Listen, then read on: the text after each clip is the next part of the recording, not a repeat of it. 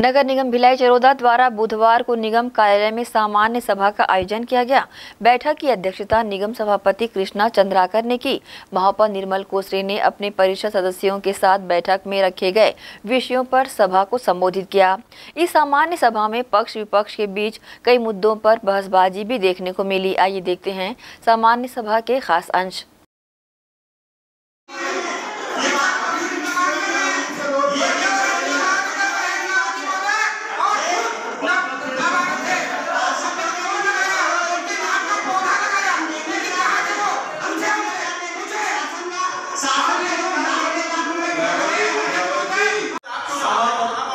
सुनिए